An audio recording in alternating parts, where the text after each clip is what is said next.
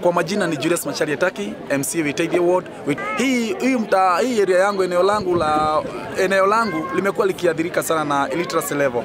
Hapo mbeleni kulikuwa kume, tulikuwa tumezingirwa na mashamba mashamba makubwa za kahawa na kware watu wengi hawakuweza kusoma kwa sababu ya hizo pware na hizi mashamba ziko hapa. Sasa sisi tukaonelea hivi, tukuwa na mheshimiwa wa Mushomba, tukuje hapa tuweze kufufua hii. Kile naomba serikali ni zile pesa iliweza kutenga za elimu iweze iweke iweke pesa fulani iweze ku revive hii adult education na ilipe wa iajiri walimu wengi sana, si kila mahali kuna hizi primary education ah, primary education na hatuwezi ongea free primary education kama hakuna shule hata moja ya serikali hapa kwangu. So mi naomba serikali iweze ku- kuzingatia vile ita invest a lot kwa hii adult education.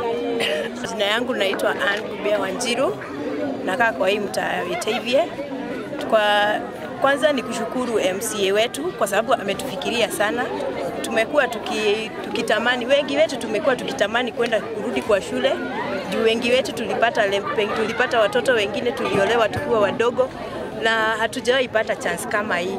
Mimi kwangu hii masomo kwa vile itanisaidia kwangu kwa sababu niliachia, niliacha shule na si, si, mahali pengi nikienda kazi huwa naitishwa certificate na sikuangi na certificate, so mimi kwangu itanisaidia, na kwa wale wengine hawana certificate kama za form 4 za, za class 8 zitawasaidia sana. Mimi naitwa Paul Bugo Karito.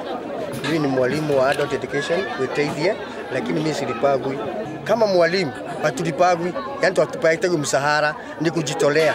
Hapa kuna watu wengine kama tuko na watu watatu wanafanya KCSE hapo wanaenda Juja kwa sababu hapo hakuna hakuna shule, lakini tumeshukuru kwa sababu ya ile msi yetu ame, amesema tutakuwa na shule hapa. Kwa hivyo hawa watu hata nitawatu asfani walete hapa, najua wao watasoma kwa sababu they are wanajitolea kusoma.